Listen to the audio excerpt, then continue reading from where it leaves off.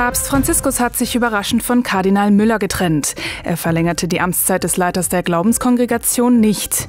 Müllers Nachfolger wird der bisherige Sekretär der Glaubenskongregation Luis Francisco Ladaria Ferrer. Ladaria ist Spanier und Jesuit. Kardinal Joachim Meissner ist tot. Der ehemalige Kölner Erzbischof war am frühen Mittwochmorgen während seines Urlaubs in Bad Füssing friedlich eingeschlafen, wie es hieß.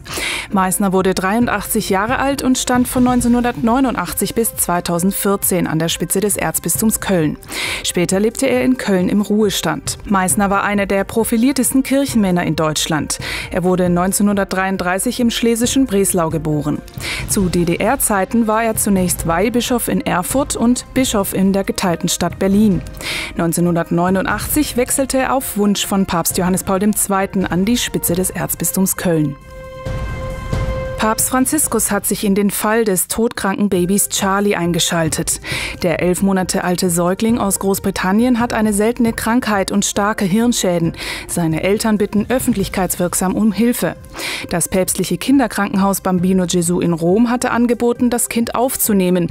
Eine Verlegung ins Ausland geht aber aus rechtlichen Gründen nicht. Papst Franziskus hat deshalb nun vorgeschlagen, das Kind zum vatikanischen Staatsbürger zu machen, um behandelt zu werden. Der frühere Vatikansprecher Joaquin Navarro Valls ist am Mittwoch nach langer Krankheit im Alter von 80 Jahren in Rom gestorben. Er war bis 2006 über 20 Jahre Leiter des Vatikanischen Presseamtes und enger Mitarbeiter von Johannes Paul II.